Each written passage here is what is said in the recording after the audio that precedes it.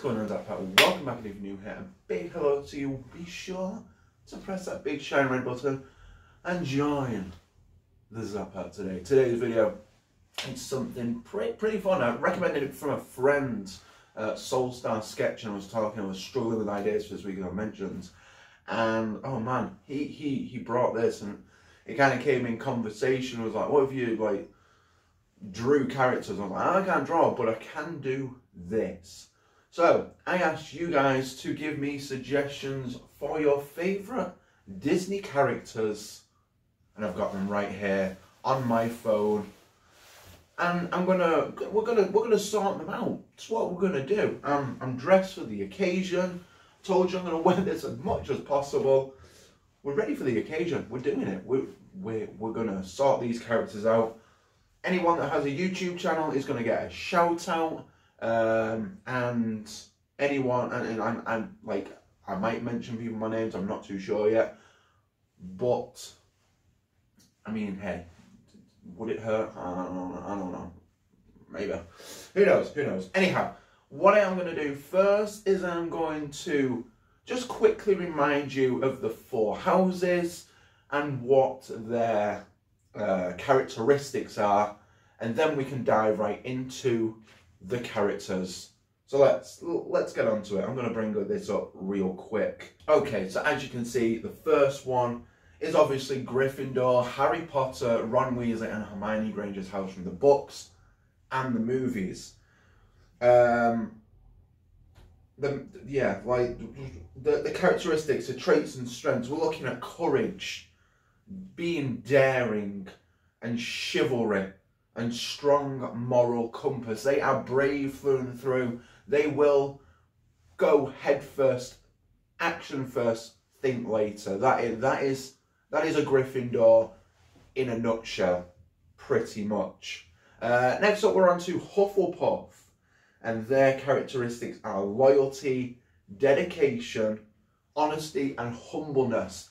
They are the true friends, the loyal, the ones that will stick you side by side and also have a little bit of a dark side as well, you know. They'll, they will hide a dead body for you.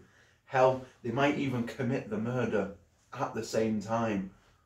Hufflepuff are, are loyal through and through. If you have Hufflepuff in your life, then you uh, you should be grateful. Do not take it for granted because Hufflepuffs pretty pretty sweet. They're pretty pretty good. They're pretty good. And then we come on to the best house, the one, the only.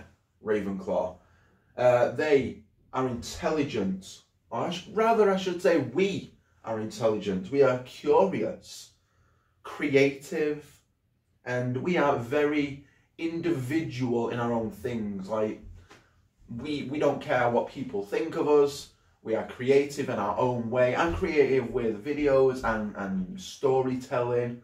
Um, I'm curious about the world. I am. I like when I go on like drives and walks and things like that. I like to find those narrow, weird paths and go down them, see where they lead. And intelligence as well. I, I mean, I, I'm quite intelligent to be fair. I don't show it, but I am. Um, and then we have Slytherin,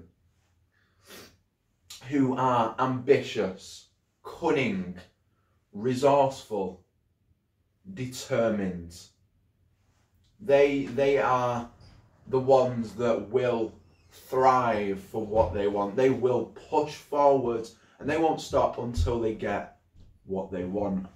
So, with all that being said, we are now onto the characters. So, the first the first character uh, that that I that I know of that I've got, got my little notes here. Just one moment.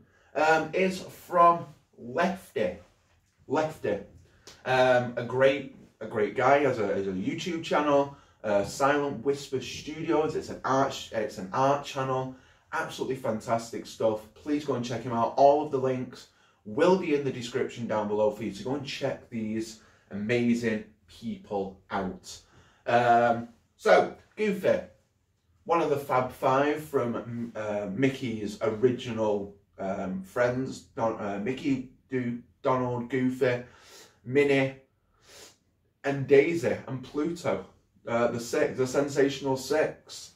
Um, Goofy is is friendly. He he always tries his best. He he is he is loyal to Donald and Goofy. I feel like Donald would be the better friend of Goofy because they're usually together most of the time.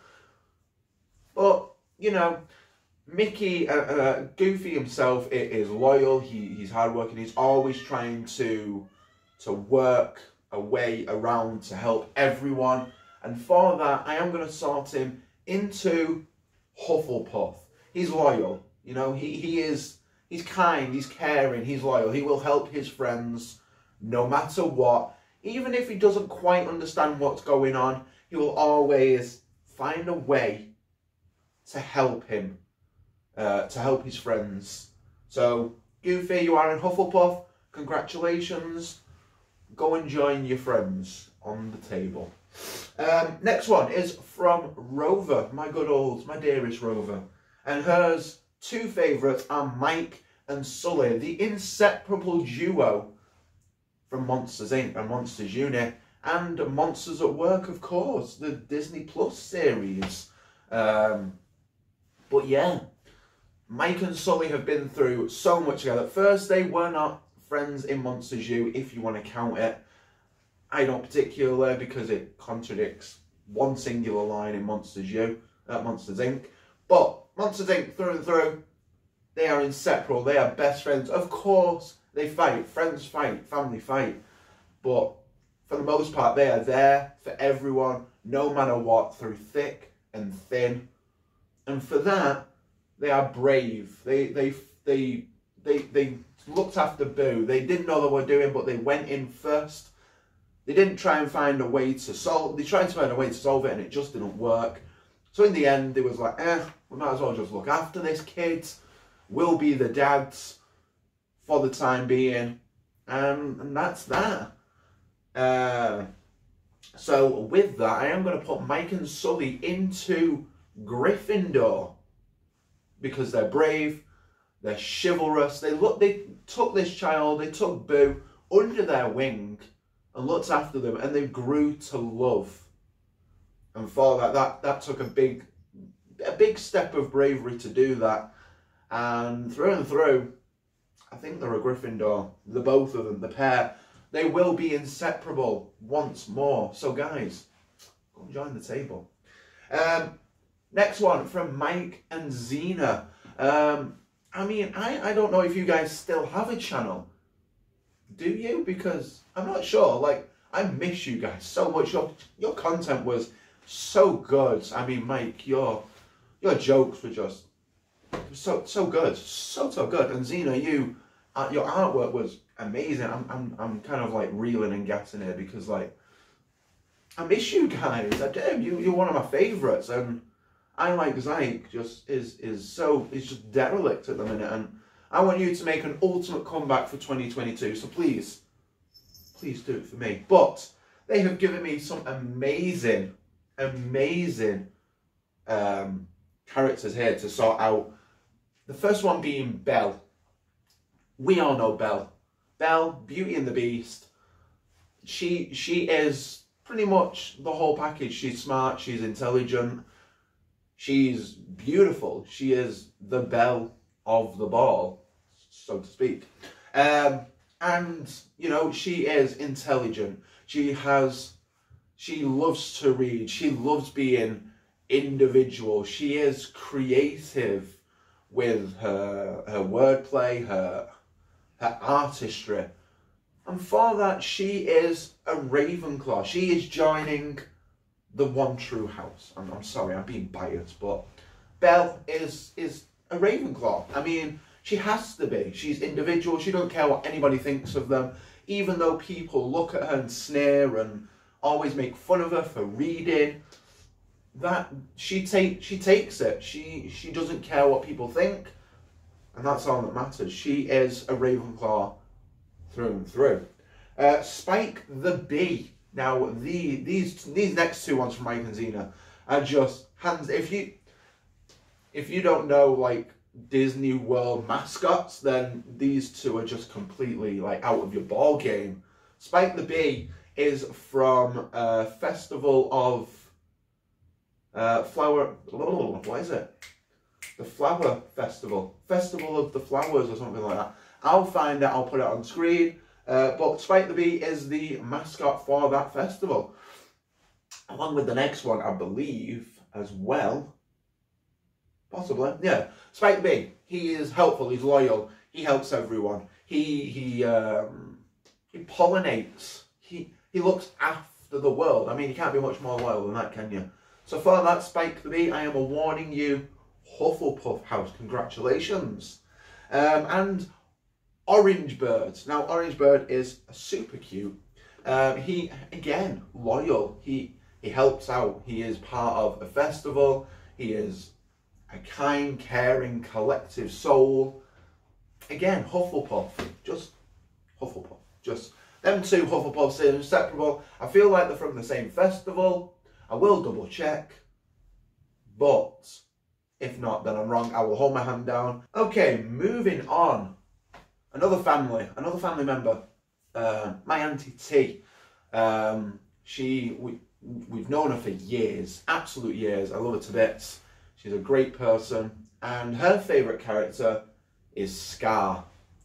Now, Scar is, if you don't know, the uncle of Simba from The Lion King. Of course, you're going to know that. I mean, you wouldn't be watching this video if you didn't know who Scar was. I mean, come on now. Um, but yeah, Scar is ambitious. He he knows what he wants. He wants to be king of Pride Rock. He is determined. He is he, he wants it to be pure. He wants what he wants. He, he's power hungry, is what he is. And for that, I'm awarding Scar Slytherin because, I mean, is there any other choice? Like, he's power hungry, he's ambitious, and he's straight up. I'm not saying Slytherin is evil in any way. This next sentence, please don't think that. But Scar is evil, and he deserves to be in the same house as the ones who have turned dark over the years. Tom Riddle, um, I mean, Malfoy, Crabbe Goyle, they, they were all Death Eaters. Like, they worked for Voldemort. And, yeah, so he, he deserves to have a seat at that table. Well, Slytherin is not a bad house they just make bad choices. Please, I am I'm a big fan of Slytherin. I have no hate towards the other houses, just hate towards the ones that became evil from Slytherin. Homie RJ has given me a few, a, uh, two suggestions actually. So, Homie RJ, if you've not seen his channel, please, again, links in the description. He is a fantastic content creator. He makes his own songs. He does some sick uh, gaming music videos. He plays a lot of like RPGs and fighting games. Just go and check him out. He is he is super. He is superb at what he does, and I've known him for the longest time. Pretty much since we both started our channels together. Actually, we pretty much started our channels together at the same time, and we met, and we've just we've just been mates since. So, homie RJ, thank you for the suggestions, bro. Um, first one, Kim Possible. Kim Possible. Now, Kim Possible. If you if you don't know Kim Possible, it was probably one of the best TV shows of the early 2000s, and she was insanely cool. She was like a secret agent whilst dealing with like high school, and she had a sidekick called Ron Stoppable, his little naked mole rat, and oh, it was such such a good show, little Rufus. Um, but yeah, Kim Kim Possible. Um, she's brave, she's determined, she's chivalrous. You know where this is going. Gryffindor.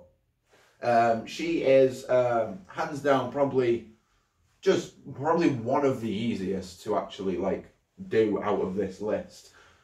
She she speaks for herself. Like she she's a secret agent every secret agent would probably be in Gryffindor. Um, but anyhow, moving on to the next one. Bear in the Big Blue House. Oh my gosh, what what a throwback.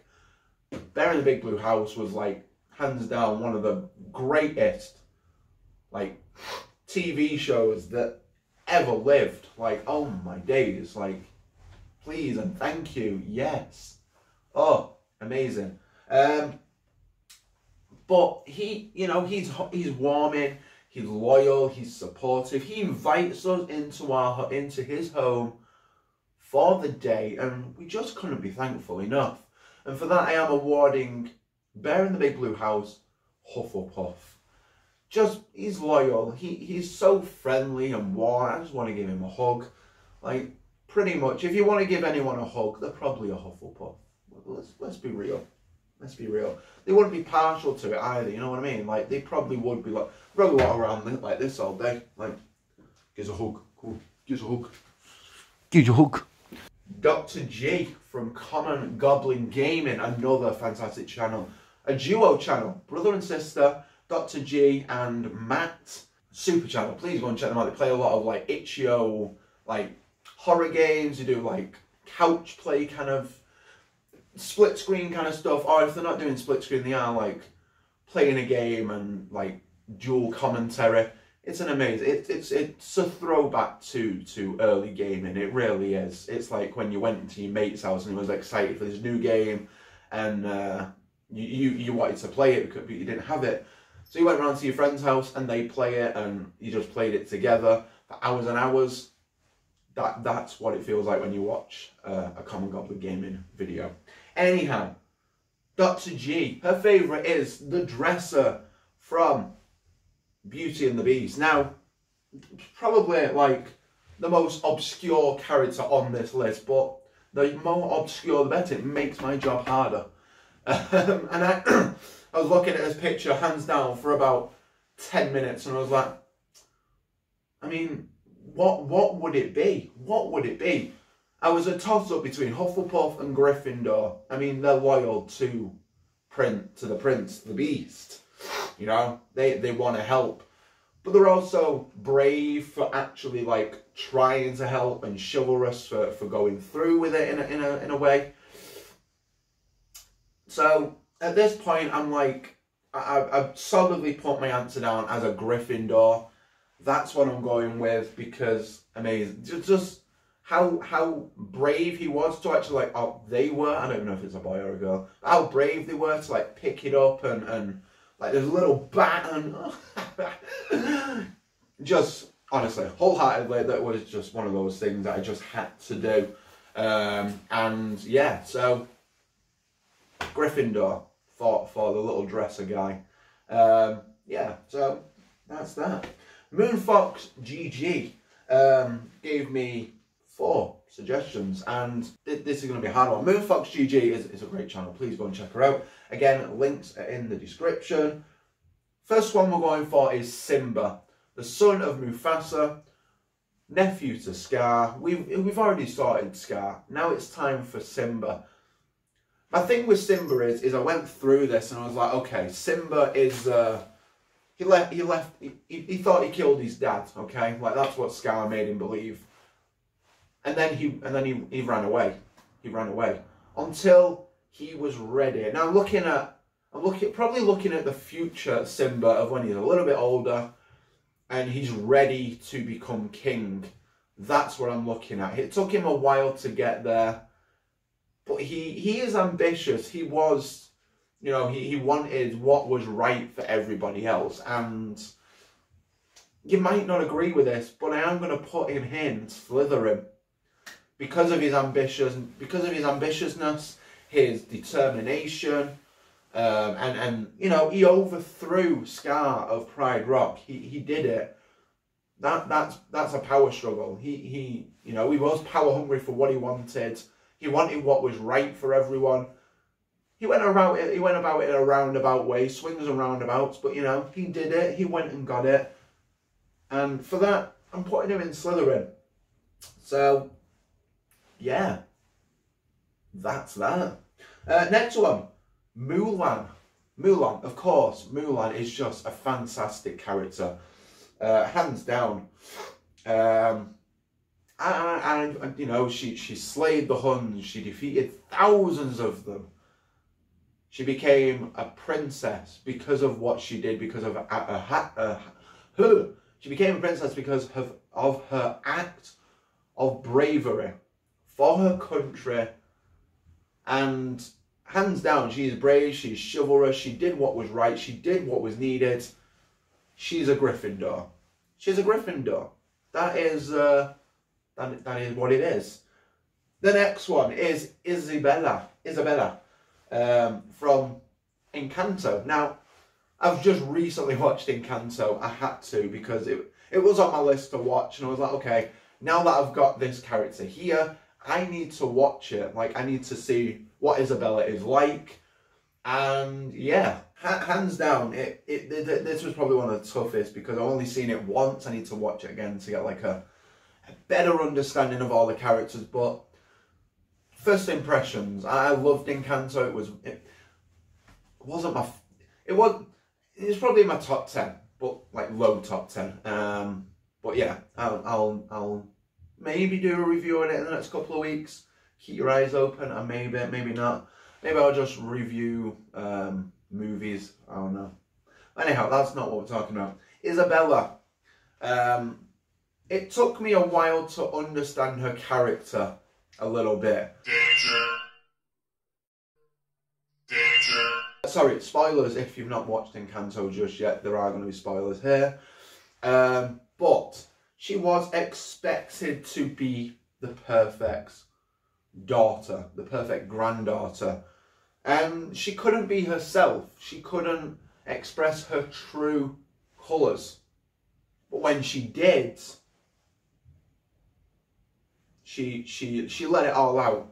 And for that, for that, because of that individuality and that creativity and that the fact that she was able to come out of her own shell, I am going to put her in Ravenclaw.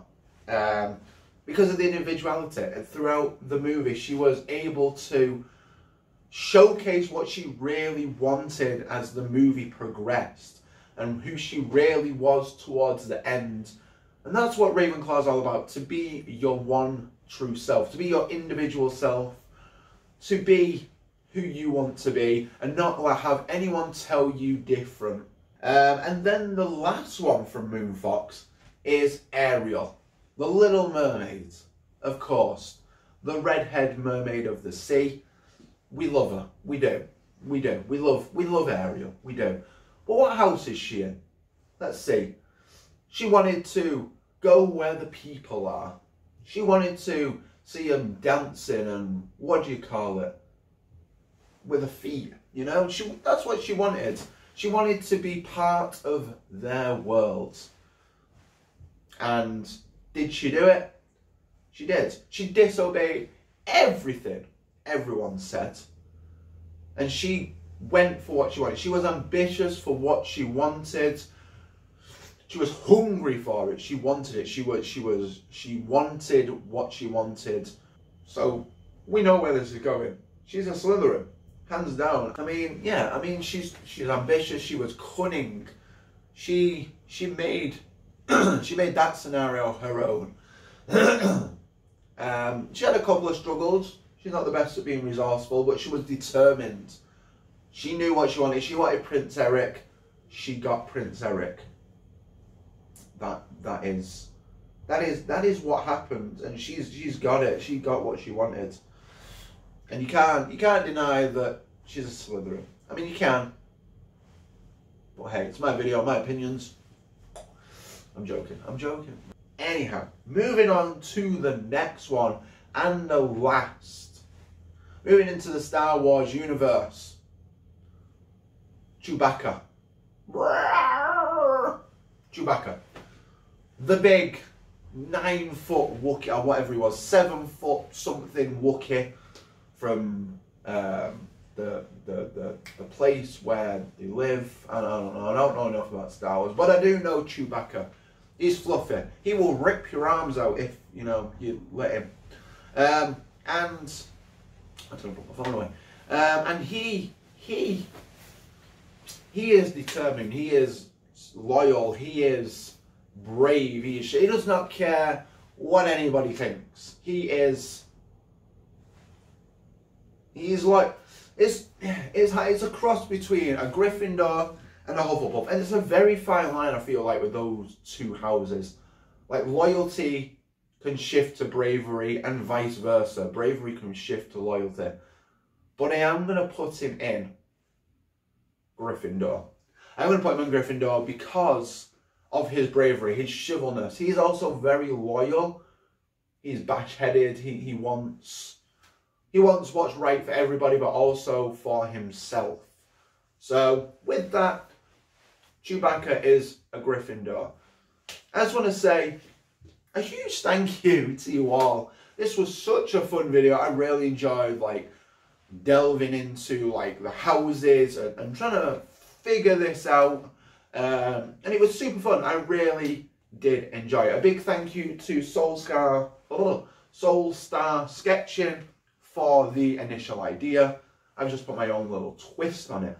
Um, and I hope you did enjoy this video. If you have not done so already, be sure to like, comment, share, and subscribe to the Zack Pack. Um, a lot of a lot of videos like this and, and other video, I don't know, variety vlogging, as I like to call it. Um, we, we do a lot here. We do a lot here. But yeah, it's, it's been very Disney, Harry Potter heavy this week. All good. I, I'm alright with that. You're probably alright with that, otherwise you wouldn't be watching. What is going on with our road? I don't know. But yeah, um, I've really enjoyed this video. It's been super fun. I, I like I said, I've really enjoyed diving into the characters, figuring out their their quirks, their their where they would fit with with everything, um, and and it it felt cool to to do it, um, and I really really really enjoyed it. Really enjoyed it. So yeah, a big uh, a big thank you to everyone for your suggestions. All of your links will be down below. Please go and check them all out. They are all amazing content creators. They deserve your love. That's your your time to watch some of your videos. And yeah, so thank you so much for that. Um, and I will catch y'all in the next one. Until then, much love. Stay classy, Zack Pack.